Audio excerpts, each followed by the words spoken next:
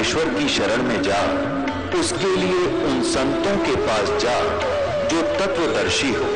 इसी प्रकार हज़रत मोहम्मद को उनका अल्लाह कह रहा है कि कोई और पूर्ण परमात्मा है। उसको पाने के लिए उन तत्वदर्शी संत की तलाश कर, वो प्रभु कौन है? ये जानने के लिए कृपया अवश्य सुनिए जगत गुरु तत्वदर्शी संत रामपाल जी महाराज के अमृत वचन। ये आज से 600 वर्ष पहले परमात्मा ने यह लीला की थी। और वो लीला सारी की सारी धर्मदास जी ने जो लीला मालिक ने की थी, जो बात हुई थी, जो ज्ञान दिया था, एक धर्मदास नाम के लाला जी थे, सेठ थे। वो भी पहले हिंदू धर्म में जन्मने के कारण राम और कृष्ण के पुजारी थे। परमात्मा के ज्ञान से परिचित होकर परमात्मा को सचखंड सतलोक में देख करके वो संतुष्ट हुए थे कि ये कबीर जो धानक है, यही परमात्मा है। उसके बाद उन्होंने जो भी उनकी घटना हुई थी, जो भी सुनी थी, मालिक ने बताई थी, वो सारी लिख दी। आज से 600 वर्ष पहले ये लीला कबीर भगवान ने की थी। और ऋग्वेद सूक्त एक, मंत्र आठ और नौ में दो श्लोक है, आठ और नौ। आठ में ये प्रमाण है कि परमात्मा तीन प्रकार के शरीरों को धारण करके सबकी देखभाल करता है। तो नौवे श्लोक मंत्र में यह कहा है कि जब परमात्मा शिशु रूप धारण करके आता है, उसके परवरिश की बचपन में, बालापन में बाल अवस्था में शिशु रूपधारी परमात्मा के परवरिश की लीला कुंवारी गायों से होती है। अपने आत्माओं आप वेदों को सही मानते हैं। वेदों को कोई ये कहने वाला पर्ची बनने के गलत है। और ये भी मानते हैं कि वेदों में परमात्मा की महिमा लिखी है, भगवान कैसा है, क्या लीला करता है। और वो लीला जो वेदों में लिखी है, भगवान की, वो किसी ने की हो ऐसी लीला ही किसी ने की हो तो कौन है भगवान? जिसने वेदों अनुसार जो लीला और ज्ञान बताया और लीला की ही इज़ गॉड। तो पहले आपको दिखाते हैं वेद में, और फिर दिखाते हैं आपको कबीर सागर में जो भगवान की लीला लिखी है। दो मिनट में अपने आप समझ में आ जाएगा हु इज़ गॉड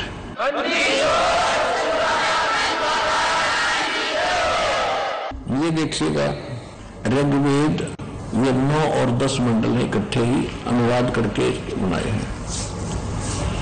ये कहाँ से छपा है? प्रकाशक है सार्वदेशिक आर्य प्रतिनिधि सभा महर्षि दान भवन रामला मैदान नई दिल्ली। ये इनके फ़ोन और फैक्स नंबर है। भाषार्थ भाष्य महर्षि दान सरस्वती कृत मुद्र कैटरेंस ऑफसेट प्रिंटर्स 1510 कटौती हाउस प्रयागंज नई दिल्ली।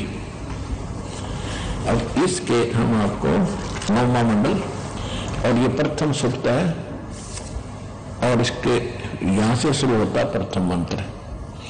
इसमें सब जगह सोम माने परमात्मा लिखा ये ध्यान रखना, सोम माने सोम स्वभाव परमात्मा, सोम माने परमात्मा, शीतल स्वभाव का भगवान। सोम, ठीक? संस्कृत में। क्योंकि ये मूल पाठ में सोम शब्द है ये। अब इसके चलते चलते ये परमात्मा की महिमा है सारी।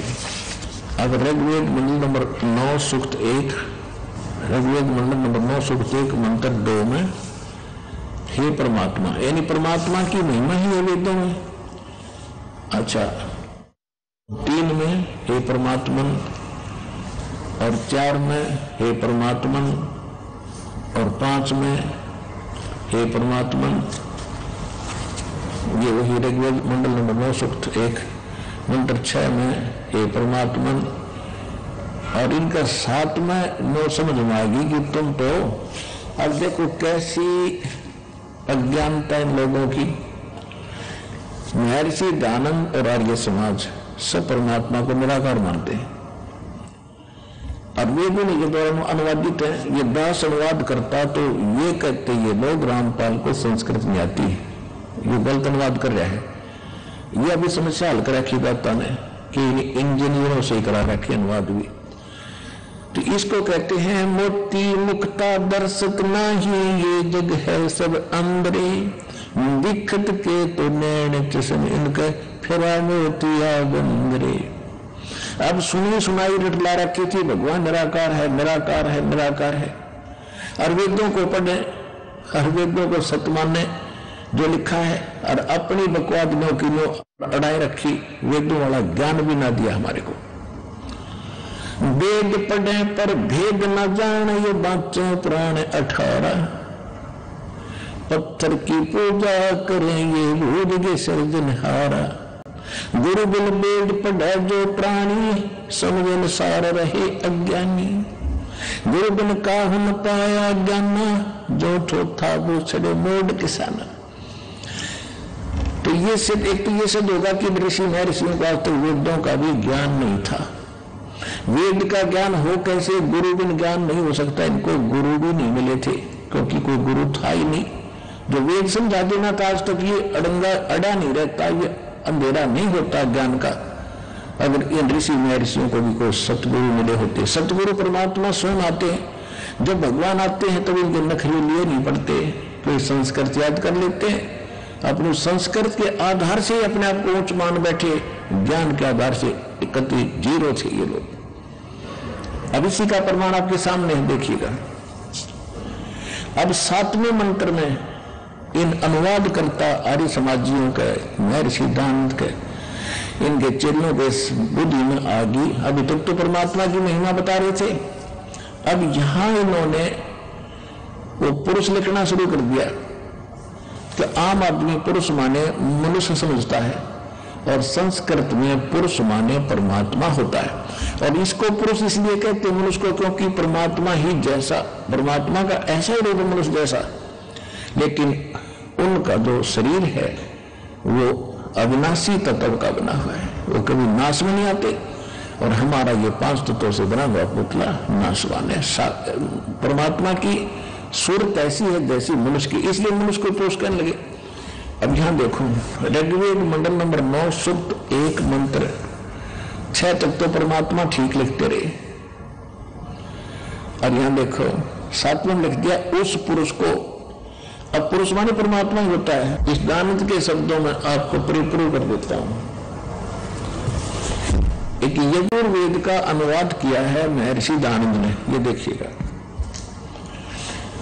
ये महर्षि दानंद जी द्वारा ही इसका अनुवाद है और ये प्रकाशक भी सर्वदेशी कार्य प्रतिनिधि सभा दो बटा पाँच, महर्षि दान मैदान दिल्ली से।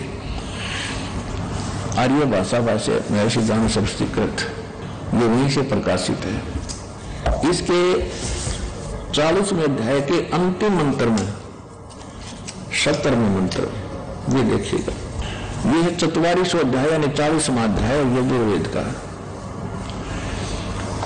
इसका ये सत्रवा मंत्र है, अंतिम मंत्र है ये। इसमें एक पुरुष शब्द है, पुरुष। अब देखो पुणात्मा वेद ज्ञान और गीता ज्ञान ब्रह्म ने दिया है। ब्रह्म ने पहले तो अपनी महिमा बताई है कि मेरी भक्ति करो वो मेरा ओम नाम है। फिर इसने बताया इसी चालीस में गए कि दसवें श्लोक में, मंत्र में कि परमात्मा को कोई तो साकार कहता है, किसी कोई निराकार कहता है।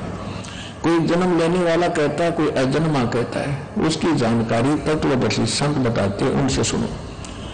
अब इन ऋषियों को तत्वदर्शी संतों बताने अपनी अटकल से इन्होंने जैसे तैसे भी अनुवाद किए वो आपके सामने है। तो चालीस में दया के सत्तरवें श्लोक में ये वेद ज्ञान दाता क्या कहता है कि वो परमात्मा तो प्रोक्ष है गुप्त है। उसके बारे में कोई नहीं जानता कोई तत्व संत बताता उसे पूछो। और अपने में बताता है कि मैं ओ, मैं ब्रह्म हूँ मेरा ओ मंत्र है। ये देखो चालीस में अध्याय का सत्तरवा श्लोक है। ये कह खम ब्रह्म ओम। और यहाँ है, ये ये देखो, हे मनुष्य, जैसे हिमेन माने ज्योत स्वरूपी रक्षक मुझ से, यानी ज्योत स्वरूपी उसे काल है, फिर ये कह रहा है कि मुझ ज्योत स्वरूपी रक्षक मुझ से अविनाशी यथार्थ कारण से आच्छादित मुख के तुल उत्तम अंग का प्रकाश किया जाता है। जो वह प्राण व सूर्य मंडल में पुरुष माने पूर्ण परमात्मा है। इन्हीं के शब्दों में हमने पुरस्कार देखना है। पुरुष माने पूर्ण परमात्मा है। वह प्रोक्ष रूप। वो तो प्रोक्ष है। और इसने अनुवाद थोड़ा सा हेरफेर किया है। फिर यू कहता, अहम मैं। वो तो परमात्मा गुप्त है।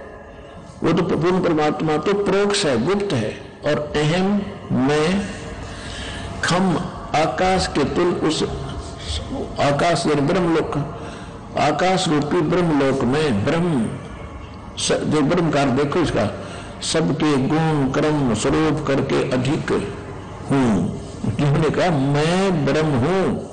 ब्रह्म माने ब्रह्म, मैं ब्रह्म हूँ। और ओम सबका रक्षक जो मैं, उसका ओम ऐसा नाम जान हूँ। तो ये अर्थ ये है कि वो ब्रह्म है, वो ब्रह्म तो मैं हूँ, और खम्भ यानी दिव आकाश रूपी ब्रह्म लोक में मैं रहता हूँ, मेरा ओम नाम है। और वो परमात्मा, पूर्ण परमात्मा, पुरुष है तो गुप्त है। उसकी जानकारी इसने बताया रखी, किसी तत्वदर्शी संत से पूछो। तो यहाँ पुरुष माने पूर्ण परमात्मा। हम इन्हीं के शब्दों से स्पष्ट करेंगे, जिन्हें जितना गोलमाल किया था सामने आएगा। ये देखो। अब यजुर्वेद रख दिया, ऋग्वेद हमने उठा दिया।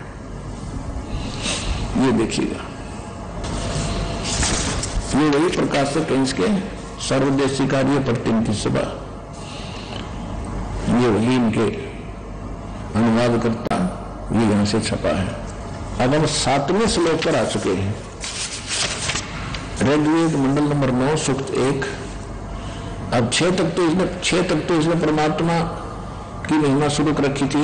यहाँ सातवें में इसने तम माने उस पुरुष को, यह लिखना था उस पूर्ण परमात्मा को, तम, उस पूर्ण परमात्मा को ज्ञान योग बड़ी प्रकार। फिर यहाँ देखो, आठवें में इसने फेर कर दिया, तम उस पुरुष को, उस पूर्ण परमात्मा को पुरुष माने पूर्ण परमात्मा सिद्ध कर दिया दास ने। उग्र गतियाँ प्रेरणा करती हैं, यानी जब संसार में हाहाकार मच जाता है, इससे प्रेरित होकर वो परमात्मा यहाँ प्रगट होता है। ये हमारे सारे सदग्रंथ भी बताते हैं? और ये गीता भी बताती है, ये बता रहे हैं। ये देखो, ये उलझाना चाहते पर उलझा नहीं है अब हम शिक्षित हो गए। उस पूर्ण परमात्मा को यह समझो पुरुष की जगह पूर्ण परमात्मा को उग्र गतियाँ, यानी भयंकर परिस्थितियाँ प्रेरणा करती हैं। और भाषमान शरीर को वह पूर्ण परमात्मा प्राप्त होता है, पुरुष माने पूर्ण परमात्मा, यानी वो यहाँ स शरीर या शरीर धारण करके आता है। आगे देखो। ऋग्वेद मंडल नंबर नौ सुख हम आठवा पढ़ रहे जिसमें जो शरीर प्राप्त करता है उसमें तीन प्रकार से दूसरों का वारण, माने कल्याण करने वाला मधु में शरीर मिलता है। वो परमात्मा तीन प्रकार के शरीर से हमारी देखभाल करता है। और जब उग्र गतियाँ प्रेरणा करती हैं तो परमात्मा यहाँ एक सुंदर शरीर प्राप्त करके प्रकट होता है। आगे देखो, नौवे में होता है। ऋग्वेद मंडल नौ सुक्त एक के मंत्र आठ को हम पढ़ चुके नौमा देखो। ये नौमा श्लोक मंत्र है। अभी इम अधन्या उत्संति धेनु शिशुम। ये शिशुम लिखा, शिशु रूप धारण। सोम सोम इंद्राय पाठवे इन्हीं के शब्दों अनुवाद पढ़ेंगे। इमम माने इस या उस, सोम माने परमात्मा पूर्ण पुरुष को, उस पूर्ण परमात्मा को।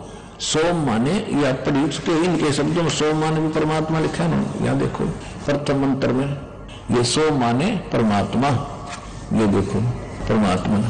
तो हम आपको ऐसे तरीके से दास सिद्ध करेगा कि अनपढ़ से अनपढ़, अगर थोड़ा सा भी अक्सर ज्ञान रखता होगा, तुरंत समझ जाएगा, इनकी हेरा फेरी को और सच सामने आ जाएगी। ये देखिए, अब हम आगे रघुवेद मंडल नौ सुख एक के मंत्रों में तब मनुष्य सो माने उस परमात्मा को, पुरुष माने पूर्ण परमात्मा समझ रहे इससे भी हम सिद्ध कर लेंगे, कर चुके हैं। उस पूर्ण परमात्मा को शिशु कुमार अवस्था में ही सब प्रकार से अधन्या, अभी अधन्या धेनव धेनो माने गौवे अहिंसनीय क्या होता है? अधन्या माने बिना दनाई अभी माने पूर्ण रूप से। अभी अधन्या का अर्थ है जो बिन, जो बैल ने सांड ने टच भी ना करी हो कंवारी। अब जैसे हरियाणा के अंदर हमारे गाय को जो गर्भ धारण नहीं किया हो तो उसको कहते हैं ये बिना धनाई है, अधन्या, बिना धनाई। इसी प्रकार ये वेद बता रहे हैं कि अभी अधन्या धेनुव सनंती, अभी अधन्या माने पूर्ण रूप से जिसको सांड ने बैल ने टच ना किया हो। उन कौमों के द्वारा उस नवजात शिशु रूप में प्रगट परमात्मा की परवरिश की लीला होती है।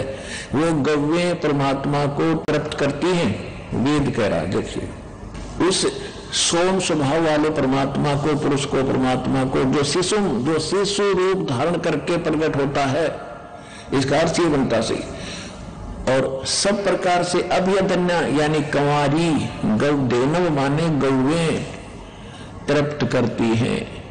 इन इंजीनियरों के ही अनुवाद में सिद्ध हो गया कि उस परमात्मा को जो शिशु रूप धारण करके यहाँ प्रकट होता है, लीला में, शरीर में, जो तीन प्रकार से वो हमारे यहाँ, हमें, हमारी देखभाल करता है। एक तो ऊपर रहता जो वो बिल्कुल तेजो में शरीर बना लेता है। यहाँ आता हल्का तेज पुंजा शरीर बनाता है। उसमें दो प्रकार है, यहाँ जब आता है। एक तो ऐसे शिशु रूप धारण करके प्रत्येक युग में प्रारंभ में एक लीला करते ही करते हैं। तीसरा जो प्रकार है, वो कभी भी, कहीं भी एक ज़िंदा महात्मा या ऋषि या साधु संत का रूप बनाकर कहीं भी प्रकट होकर अपने भक्तों को आशीर्वाद देते हैं, उनको भक्ति मार्ग पर लगा जाते हैं, उनके संकट को भी दूर करते हैं। जो ज़िंदा महात्मा के रूप में तीसरे प्रकार के शरीर से मालिक आते हैं तो ये कलयुग के अंदर बहुत महापुरुषों को उसी रूप में मिले हैं, ज़िंदा महात्मा का रूप बनाते हैं।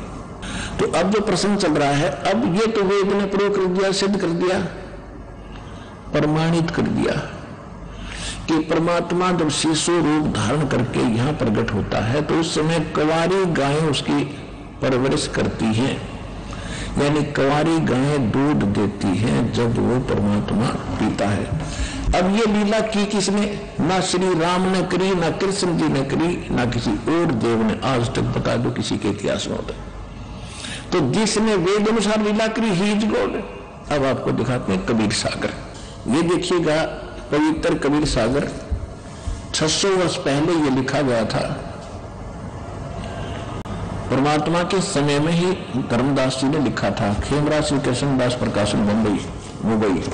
ये देखिएगा, इसका कौन अनुवादक है? कबीर पंथी भारत पथिक स्वामी युगलानंद बिहारी द्वारा परिष्कृत। मुद्रक एवं प्रकाशक खेमरा श्री कृष्ण दास अध्यक्ष श्री वेंकटेश्वर। परेश खेमरा श्री कृष्ण मार्ग दास मार्ग मुंबई इसमें देखिएगा। ये ज्ञान सागर है, इसमें एक चैप्टर है। इसके हम तिहत्तर पृष्ठ पर थोड़ा सा देते हैं। जो बारह नकली कबीर पंथी हुए हैं परमात्मा के जाने के बाद तो उन्होंने इसमें थोड़ी बहुत अपनी अनजानपने में कुछ फेरबदल किया है।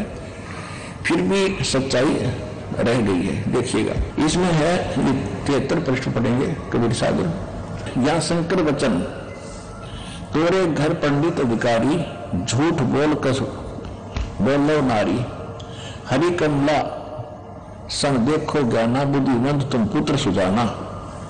सुनकर महिमा पुत्र की नारी धरे तब पाओ, हे स्वामी मम इच्छा सुन वचन सुनाओ। यानी शंकर भगवान आकर मिले थे। उसके बाद फिर क्या हुआ? कि रामानंद के पास नीरू गया तो नीरू की रामानंद की क्या बातें हुई, वो दिखाते हैं आपको। ये है चौहत्तर पृष्ठ पे। ज्ञान सागर के चौहत्तर पृष्ठ पे। सुन दुल्ला मन भयो आनंदा जिमी चकोर पाया निश्चंदा। ले सुत चले हर्ष मन कीना पुत्र को लेकर घर आगे, अर्थात सोपुन असबोल ही दीना सुत काशी को ले चले देखन, लोग देखन ते आव। काशी में लेकर आगे जनता देखने जा रही है, आ रही है। और अन्न पानी खावे नहीं, बक्से नहीं अर्जुल्ला शोक जमावे अब क्या करे हैं कि वो कुछ खाना पीना नहीं कर रहे थे, इसलिए वो दुलाहा नीरू दुखी हो रहा था। तब जो लामन कीम तिवाना रामानंद सो कहीं उठ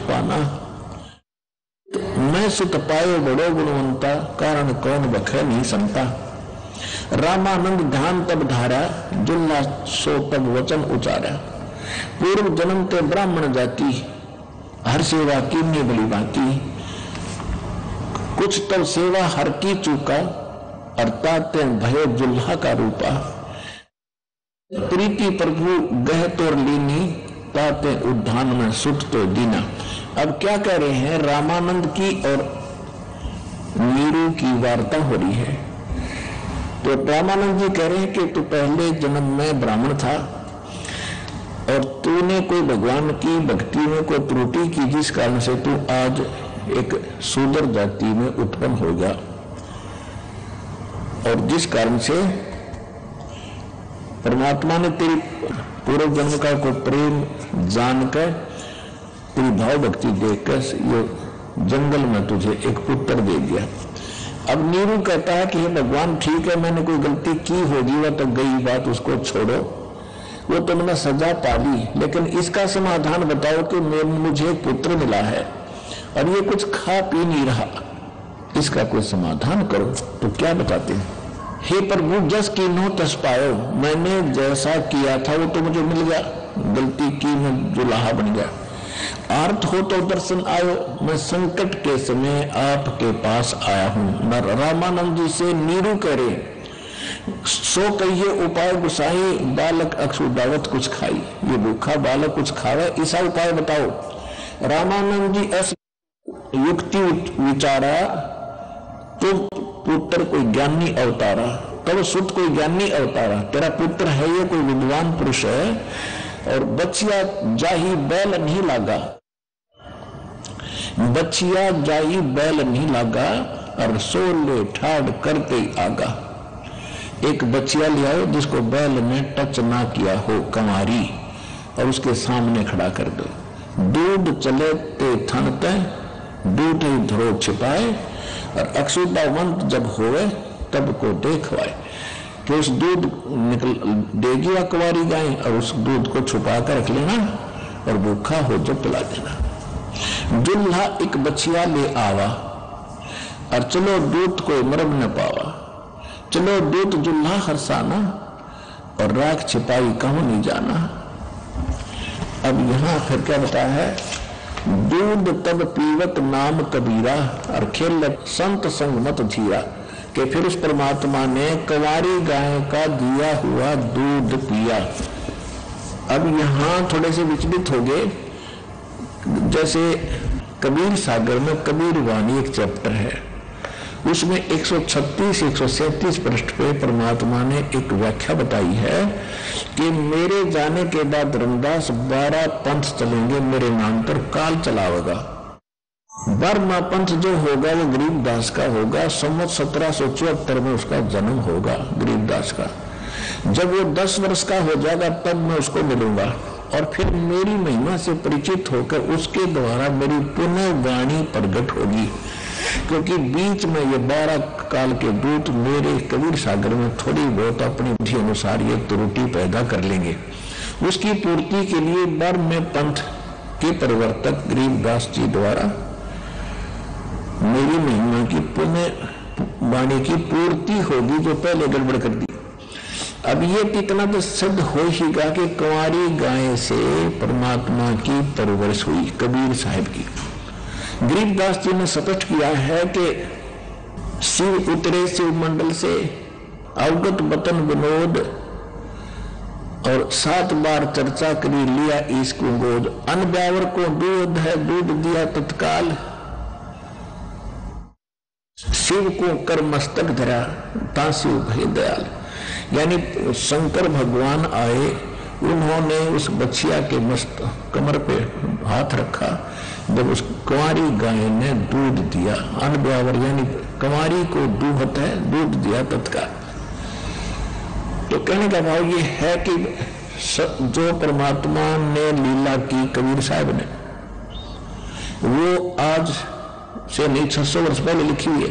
और वेद हमारे हज़ारों वर्ष पर, लाखों वर्ष पहले के बता रहे हैं कि परमात्मा ऐसी लीला करता है।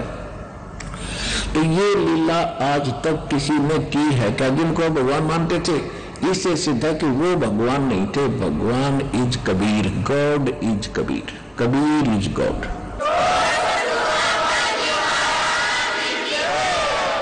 अब देखो ये तो हमारे शब्द ग्रंथों ने प्रूव किया फिर आँखों देखा ये तो थ्योरी ने सिद्ध किया अब प्रैक्टिकल आज से छह सौ वर्ष पहले परमात्मा जो ये लीला कर रहे थे लीला में शरीर में आए हुए थे पाँच वर्ष की आयु के बाद इन्होंने पाँच वर्ष की आयु में ये पर, अपना ज्ञान प्रचार करना शुरू कर दिया था।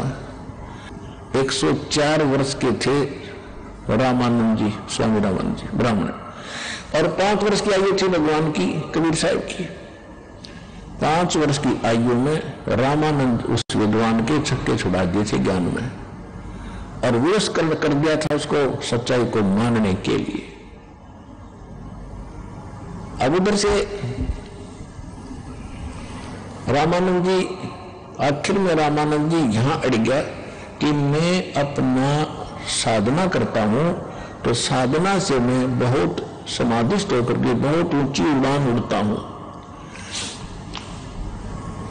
अपना अपना ये जो अपना शरीर है बॉडी है, इसके अंदर एक सूक्ष्म शरीर है। कभी आप सुबह सुबह दस बजे से ग्यारह बजे, दस बजे के आसपास सूर्य की तरफ़ पीठ करके और अपनी छाया को देखना, छाती में, छाया की छाती में दृष्टि गडाना एक मिनट बगैर पलक झपकाए। और फिर उसको सामने देखना, वो आपको छाया इतनी लंबी हो जाएगी आपकी, ज़मीन से लेकर आसमान तक आपका चेहरा दिखाई देगा। यानी सूक्ष्म शरीर की जो प्रतिमा हमारी आँखों अंदर है, वो आँखों के द्वारा बाहर आ जाती है। उसकी फ़ोटो हो जाती है, वो फ़ोटो बाहर आ जाती है। और वो इतनी लंबी होती है, आसमान से सिर और ज़मीन पर पैर दिखाई देंगे। इसको सूक्ष्म शरीर कहते हैं। और जिनका ये सूक्ष्म शरीर भक्ति से युक्त हो जाता है तो उसमें ज़्यादा तेज दिखाई देता है, प्रकाश। इसके ऊपर और भी बहुत से लक्षण बताए हैं, ऐसे ऐसे वो उसके ऊपर आपने नहीं जाना है, ध्यान नहीं देना वो बातों को छोड़ना, क्योंकि वो तो जो भक्ति नहीं करती, उनके लिए लक्षण बता रखे हैं कि शर्मा दिखे तो उसकी मौत हो जाएगी पाँच चार दिन में। ऐसा हाथ नहीं दिखेगा तो भाई मरे, का पत्नी मरे, उसकी मौका तो इससे हमने कोई लिंक नहीं, क्योंकि हम तो भगवान के समझ आ गए। हमारे ऊपर वो लक्षण काउंट नहीं करेंगे। अफेक्ट नहीं करेंगे। फिर भी हमने सिर्फ़ ये उदास बताना चाहता है कि जो विराट रूप होता है, इसी को कहते हैं। जैसे कृष्ण जी ने पांडवों को दिखाया था, वो भक्ति युक्त थे, श्री कृष्ण जी पिछले जन्म के बहुत गिने तो भक्ति की शक्ति से उसका जो विराट था, वो बाहर एकदम उतना तेजो में दिखा। और इसका पिताजी जो है, श्री श्री कृष्ण विष्णु के पिताजी काल है, एक हज़ार बुझा के भगवान है। उसने विराट रूप दिखाया था श्री कृष्ण जी को महाभारत के समय। तो उस विराट में और उस विराट में, उसके प्रकाश में और उसकी शोभा में घना अंतर था। ये है वो विराट रूप जो आप अपना देखो। विराट माने लंबा चौड़ा और क्या?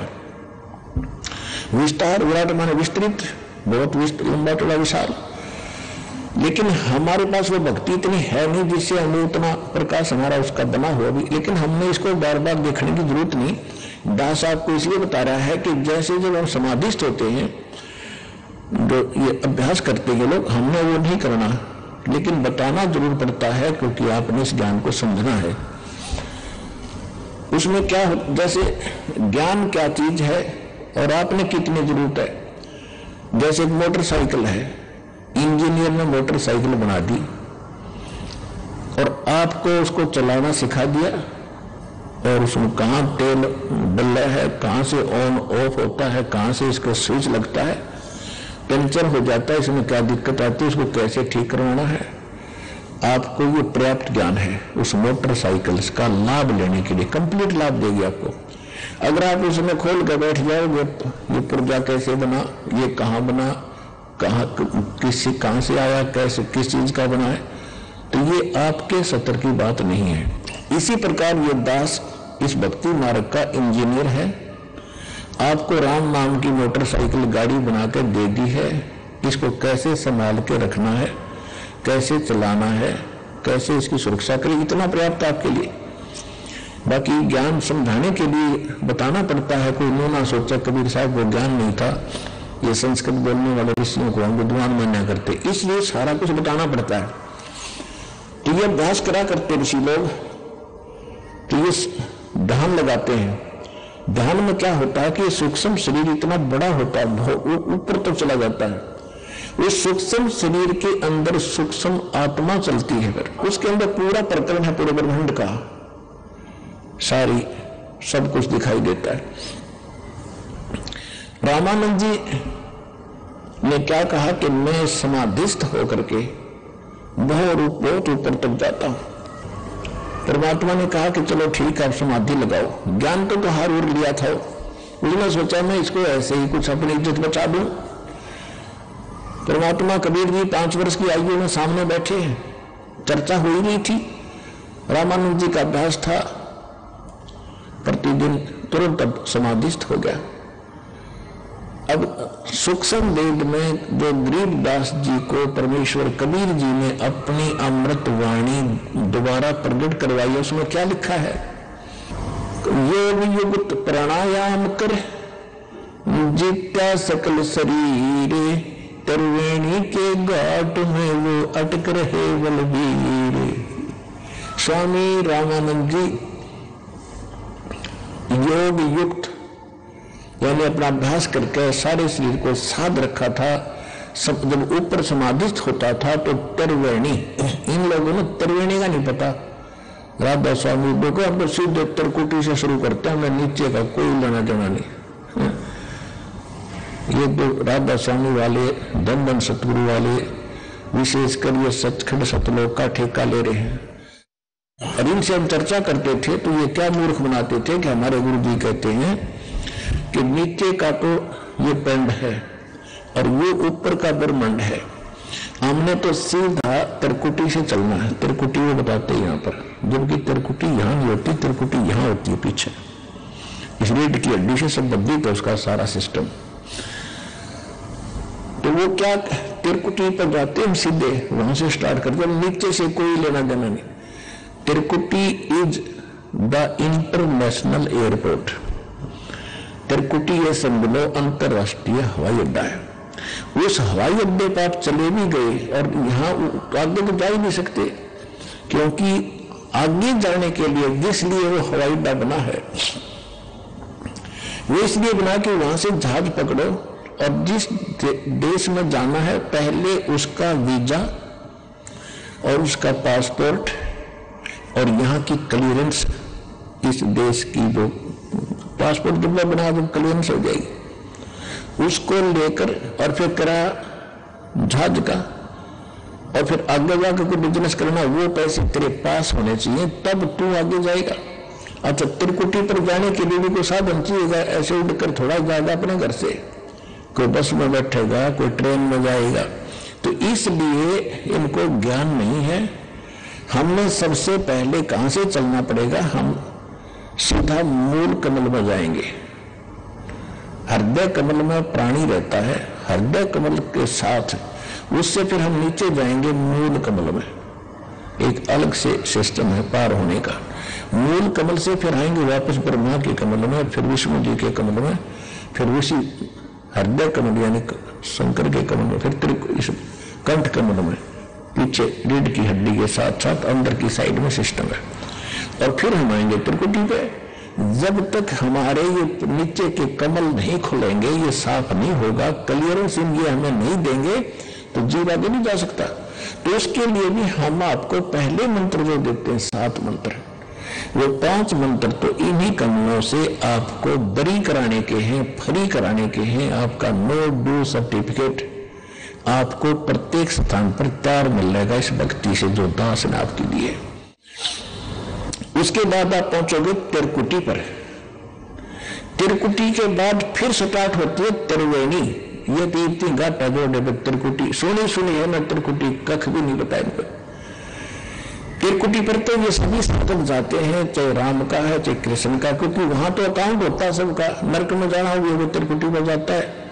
इसको नरक में भेजो, वहाँ पूरा सेक्रेटरिएट बना हुआ है इनका। इस धर्मराज का वहाँ एक दफ्तर है, ऑफ़िस है। उसमें सबसे पहले न्यायाधीश के वहाँ जाते हैं, उनका अकाउंट होता है। उसके बाद नरक में जाना, नरक में जाओ। ब्रह्मा का पुजारी, ब्रह्मा के लोक में विष्णु का पुजारी, विष्णु के लोक में, शिव का पुजारी, शिव के लोक में। और बाकी नरक में जाना गए कुत्ते बनना वो जाओ। उनका सब वहाँ से, उनको फिर फर्दर जो कुछ बनना बना, वहाँ से मिलता है। उसके बाद फिर त्रिवेणी शुरू होती ती, तीन रास्ते। अब हम त्रिवेणी कहते हैं इलाहाबाद में कि गंगा और जमुना आकर मिलगी और बीच में सरस्वती। और यहाँ का उल्टा सिस्टम है त्रिवेणी। वहाँ तीन रस्ते हैं तीन वे, वे माने रस्ते। तीन रस्ते बनेंगे तीन। लेफ़्ट जो रास्ता है उसमें पूरा सेक्ट्रिएट है। इनका यमरूट यमदूतों का, धर्मराज का, और आगे फिर एक सुरंग जाती है सीधी। वहाँ से जो धर्मराज फैसला करता है, यम के दूत, या फिर उस देव के दूत, जिसकी उसने साधना कर रखी वहाँ से फिर वो ले जाते हैं। विष्णु के पुजारी है तो विष्णु के दूत वहाँ खड़े मिलेंगे। और जिन्हें नरक में जाना, उनको यम के दूत लेकर जाएँगे। तो वहाँ जाके परमात्मा ने कहा कि अब स्वामी जी कहा जाओगे? रामानंद पहुँच गए त्रिवेणी पे अब परमेश्वर कबीर जी ने कहा कि अब स्वामी जी आगे कहा जाओगे? यहाँ से कहा जाओगे पता नहीं। कहा जाऊँगा? फिर यहाँ यहाँ सैर सपट्टी करता रहे सुनाता रहे जाता रहे रोज। क्या लाभ हुआ आपको? मैं बताता हूँ कहाँ जाओगे। आप हो विष्णु जी के पुजारी। और साथ में आप ये यज्ञ वगैरह करते हो, हठ योग करते हो, तप होता है। तो यहाँ इधर है धर्मराज का ऑफ़िस। इससे आपको आगे मिलेगा, वहाँ से टोकन मिलेगा, आप जाओगे विष्णु जी के लोक में। और वहाँ कितने दिन रहोगे? कर लगे, ये तो जितना मेरे पुण्य होंगे, तभी तक मैं वहाँ रहूँगा, मेरी भक्ति कर्म होंगे।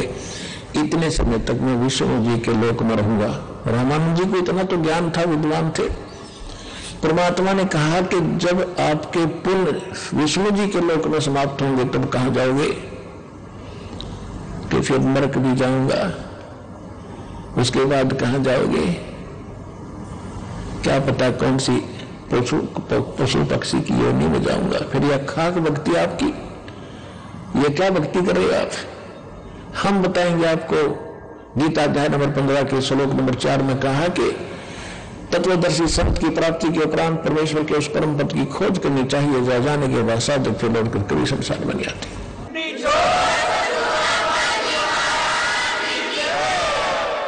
अब जहाँ से सत्संग दास ने प्रारंभ किया था, अब हम उसी पॉइंट पर आगे हैं कि जो साधना हम कर रहे थे, शास्त्र विरुद्ध कर रहे थे, उससे हमारा जन्म और मरण मिटा नहीं, कष्ट जो के तो बने रहे। परमात्मा ने बताया कि ये सामने का जो रास्ता है, ये बिल्कुल, ये सामने वाला, ये है ब्रह्म रंदर और ये तुम्हारे किसी भी मंत्र से, ना ओम जाप से, ना ओम नमः शिवायत और न ही ओम नमः भागवते वासुदेव और ना किसी और मंत्र से, ये सामने का नहीं खुलेगा। मेरे पास वो सतनाम है, जिसके जाप से सामने का दरवाज़ा खुलेगा, अन्यथा ये गेट कभी नहीं खुलता तुम्हारा। ये बंद पड़ा है तुम्हारा और कोई कोशिश करके देख, रामानंद जी जो मंत्र जाने था, जो भी गायत्री मंत्र से घोट रखा था, ये दुर्वेद अध्याय नंबर छत्तीस का मंत्र, तीन उसका ओम मंत्र ला को भी जाप कर लिया ना खुला, बैठ गया। चुप होकर क्योंकि स्वप्न सा हो रहा था, जैसे स्वप्न में देखते ऐसे चल रहा था, बैठा समाधिस्थ था। परमात्मा सामने बैठे, और उसको परमात्मा आगे भी बैठे, त्रिवेणी के तो वहाँ कहते हैं कि मैं दिखाऊँ, अब खोल के। मैं जाप करता हूँ, अपने मंत्र का, जो गुप्त मंत्र मेरे पास है, शक्तिशाली। जो मोक्ष मंत्र है, दो अक्षर का है, सतनाम दो अक्षर का, जिसमें एक और मंत्र है, और एक तत्व गुप्त है। परमात्मा ने लीला की समन किया, सतनाम का, एकदम ऐसे, वो पत्थर जैसे बज्र के कवाड़ थे नो खुल गए गेट खुल गया सामने। और परमात्मा ने कहा कि आ जा मेरे साथ साथ। जब रामानंद जी को ले गए दिखा कि ये बैठा वो निरंजन ज्योति निरंजन जिसको तुम परमात्मा मानते हो अलख निरंजन कहते हो, ये काल है, ये देखो, ये बैठा। उस गेट के सामने बैठता है, ये इतना जालिम है, जो ग्यारहवा द्वार है, दसवा द्वार दसवा द्वार, घाटा जोड़ रखा था आज तक। दसवा तो काल के जाल में रहता है, और ग्यारहवा भी पार नहीं करता बारहवा द्वार पार करेगा बारहवें से पार होकर हम सब लोग जाएँगे। ये परम हंस है ध्रुवांजलि में फौजी साहब और उसने कितने परमात्मा की वाणी पढ़ ली, घर गर्मी खिड़की गर्मी खिड़की। वो गर्मी खिड़की में की गांठ से पंसारी बन गर्मी कर मेरे पास जो वस्तु है, किसी के पास नहीं, धरती पर। क्या क्या है उसके पास? मंत्र क्या देता? सतनाम और सतगुरु। ये तो उसका मंत्र है। और फिर कान में ना वो, वो भी ना करता हूँ तो मुँह कर दे। वो साधक दीक्षा लेने वाला कहता हमारा जी को सुना नहीं। कहते ये सुनने का नहीं ये कहने का भी नहीं। अंदर तरफ़ ताकत डाल दी सार शब्द है आदि शब्द है। और उसमें पाएगी कि बस पंडित परमात्मा की वाणी को समझना बालकों का खेल है। गर्म खिड़की, गर्म द्वार, गर्म गर्मा तो इस काल के लोक से पार करेंगे। गर्मा जाएगा, अक्सर पुरुष के लोक में प्रवेश कर जाएगा गर्मा। फिर भी पार नहीं हुए। उसके बाद फिर बारहवा द्वार है। ग्यारहवा द्वार है, उस पर ये खुद बैठा है, ये काल। और इतना विकाल रूप है, कति कड़ लागे बैठा है, उसका वैसे तो बंद वो है ही है। कमर उड़ला रहा बेईमान को देखो, गलती से निकलना जाके तब अगर आँख लाग जाता है। तो वहाँ जब कोई जाता है, पहले तो उसका इतना तेज है, इतनी ताकत तो उसको चारों तरफ़ उसने ऐसा छोड़ रखी है कि कोई जा नहीं सकता, आम जीव। लेकिन परमात्मा ही जा सकते हैं, या उसकी भक्ति युक्त हंस, उसकी कृपा से उसके पार हो सकता है। तो कबीर साहब साथ ले रामानंद जी को, कि वो बैठा देख। कड़लाए घर में द्वार पर तेरा भगवान अलख निरंजन काल। जो गीता घर में कह के बत्तीसवें श्लोक में कहता, मैं काल हूँ, सबको खाने के लिए प्रवृत्त हुआ हूँ, सबका नाश कर दूँगा ये है वो जिसमें तुम कृष्ण नहीं था, वो कृष्ण के अंदर ये प्रवेश करके बोल रहा था। जब देखा उसकी सकल रामानंद जी तो घबराए गए। अरे, तेरा गुजर है ये तो भाई। इसी मोटी मोटी आँख और बुकराल चोरा लंबे दांत। ओछा माथा।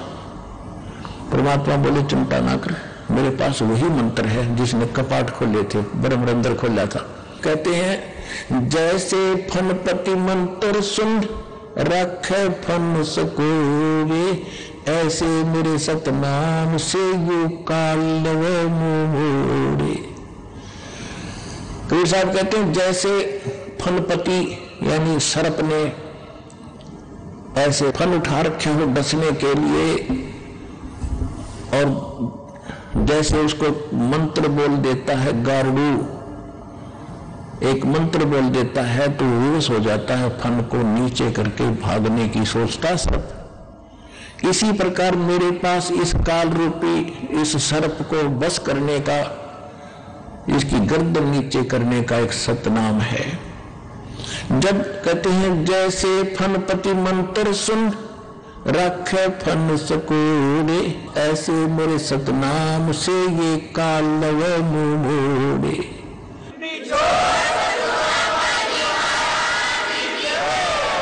परमेश्वर, कबीर परमेश्वर जी ने सतनाम का सेवन किया और काल एकदम नीचे गर्दन कर गया नीचे गर्दन करते उसके सर पे पैर रख के बुद्धि में और रामानंद जी से कहा कि आजा मेरे साथ। जल पर वो अंदर वो गेट खुला, खुल गया। परमात्मा और आत्मा वो साथ साथ अंदर चले गए। गेट फिर बंद होगा काल फिर चौकस बैठ गया। कि चलिए एक तो गया और तो नहीं जान दूँगा। ये तो नो अकड़ रहा कति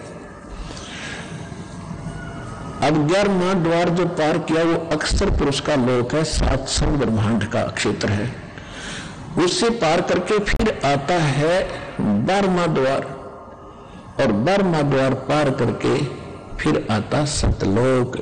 जहाँ जाने के बाद फिर लौटकर कभी संसार में नहीं आते।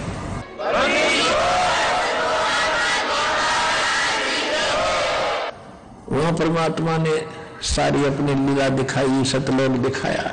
है पुणात्मा तो उसकी सारा वर्णन कर दिया तो आपके मुँह में पानी आ जाए ऐसी बढ़िया मेवा है, ऐसा ऐसी बढ़िया अवस्था है। लेकिन अभी आपसे भक्ति भी तो करानी है, भक्ति करा के फिर ले चलेंगे। तो वहाँ तो पहुँचे, वहाँ पर सारा शोभा देखी। इतना सुंदर वातावरण, ना गर्मी है, ना सर्दी है।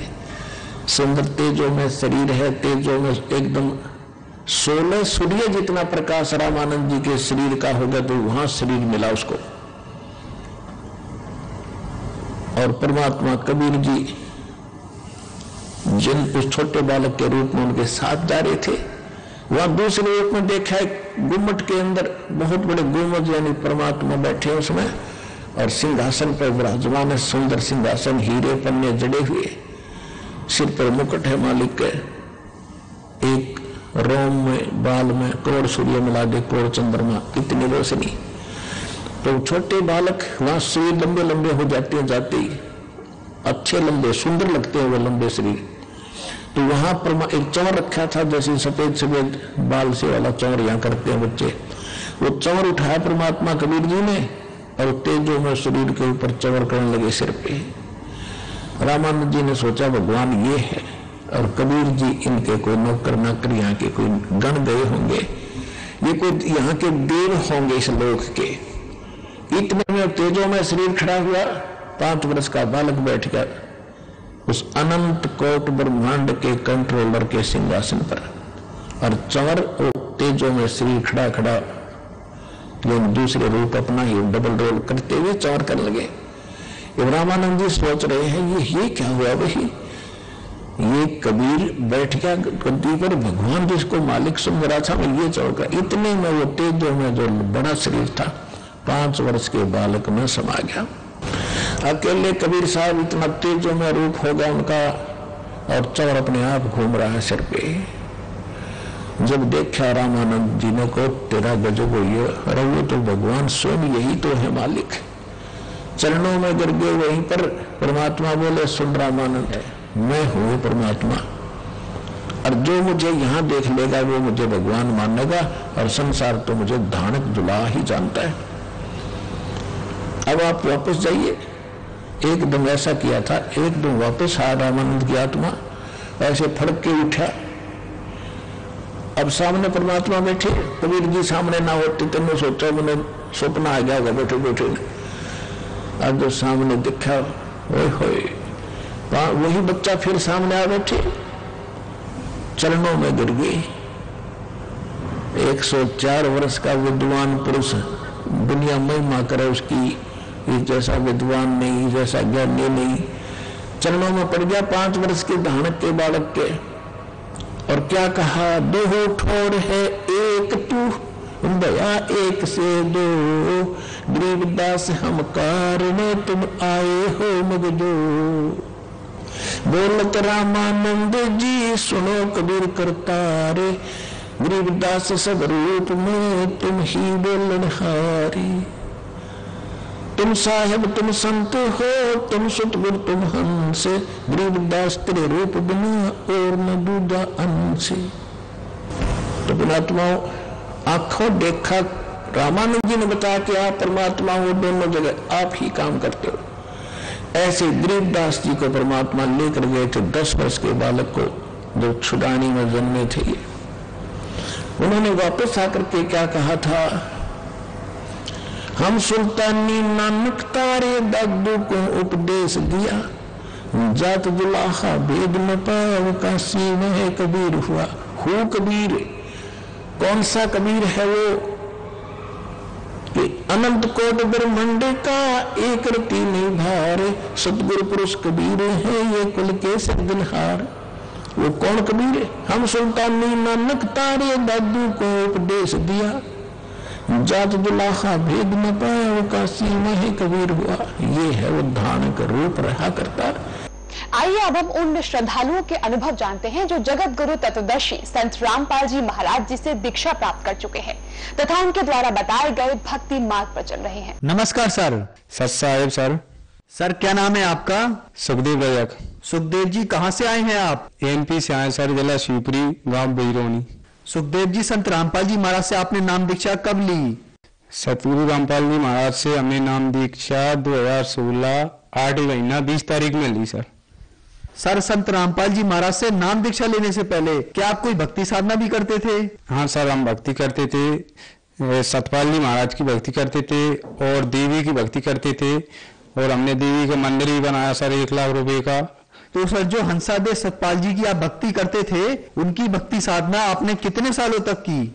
सतपाल जी महाराज जी की ग्यारह साल तक मैंने सर भक्ति की, लेकिन उससे हमको कोई लाभ नहीं हुआ। वो सो हम जाप बताते थे, सो भीतर हम बाहर सो भीतर हम बाहर जाप देते थे ग्यारह साल तक मैंने उनकी भक्ति की। सर आपने बताया कि आपने 11 साल तक हंसा हंसादेव सतपाल जी महाराज की भक्ति की तथा अन्य देवी देवताओं की भी भक्ति की। तो इन सब भक्ति साधनाओं से आपको क्या क्या लाभ मिले? सर जी हमने बहुत इलाज करवाया।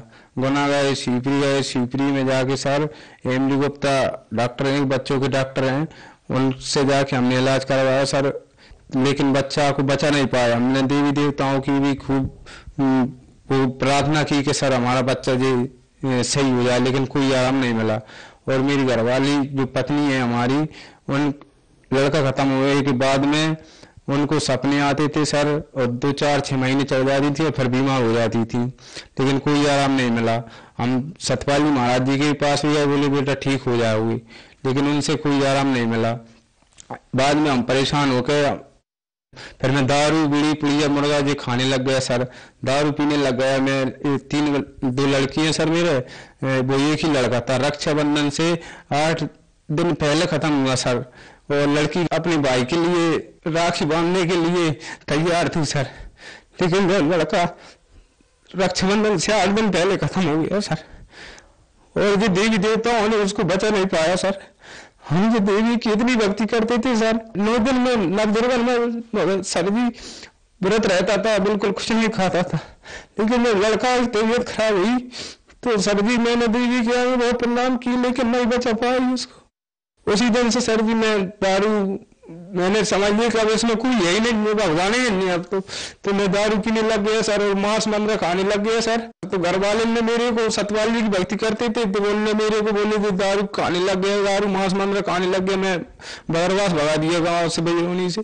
सर, आपने बताया कि आप देवी देवताओं की तथा हंसादेश पंत सतपाल जी महाराज की भक्ति करते थे। लेकिन आपको उससे कोई लाभ नहीं हुआ, बल्कि आपके परिवार में हानियाँ ही हानियाँ हुई। आपको बचपन से बीमारी थी, आपका ढाई साल का बेटा भी मर गया, और साथ ही साथ आपकी पत्नी को भी बीमारियाँ स्टार्ट हो गई। आपने नशे करने शुरू कर दिए। तो फिर संत रामपाल जी महाराज की शरण में आप कैसे आए? संत रामपाल जी महाराज शरण में हम सर ऐसे आए कि यहाँ पर एक भगत जी काम करते थे। मैं उनके पास गया, उन उनके घर गया तो रिश्तेदार थे वो हमारे तो मैंने जाके देखा सतगुरु राम रामपाल जी महाराज जी के फ़ोटो लगे थे तो वो बोले के भगत जी, आप कहाँ से आए? मैंने सर, हम बजरोनी से आए तो बोले, हम जी, रामपाल जी महाराज से नाम ले लो और आपके सब कष्ट दूर हो जाएँगे।